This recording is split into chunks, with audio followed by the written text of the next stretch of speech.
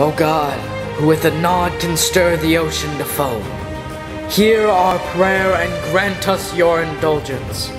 We are the first of mankind to venture forth on unlawful paths across your waters, and therefore, one might suppose, deserve the worst of your storms. Yet hear me, it is not my own idea to presume in this way.